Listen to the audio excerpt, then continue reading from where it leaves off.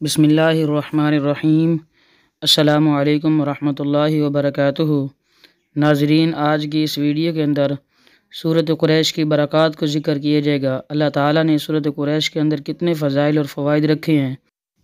ناظرین، سے گزارش ہے کہ اسلامی ویڈیو حاصل کرنے کے لیے ہمارے اس چینل کو سبسکرائب کریں۔ اس سے آپ کو مزید ویڈیوز ملتی رہیں گی۔ تو صورت قریش کے فضائل بیان کرنے سے پہلے صورت قریش کی تلاوت کرتے ہیں۔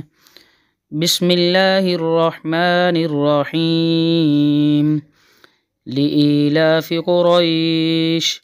إيلافهم رحلة الشتاء والصيف۔ فليعبدوا رب هذا البيت۔ الذي أطعمهم من جوع وآمنهم من خوف۔ سورت قریش کی برکتیں۔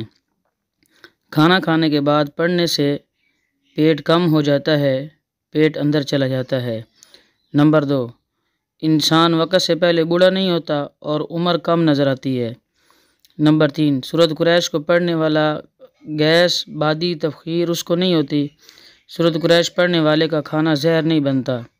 صورت قریش پڑھنے والے کو کھانا کھانے کے بعد گیس، مستقل مسائل کولیسٹرول یورک ایسڈ نہیں بنتا۔ صورت قریش پڑھنے والے کو کھانا کھانے کے بعد وہ کھانا عبدیت صالحیت کا، صلاحیت کا ذریعہ بنتا ہے۔ اللہ ہم سب کو اس پر عمل کرنے کی توفیق عطا فرمائے۔ آمین، ثم آمین۔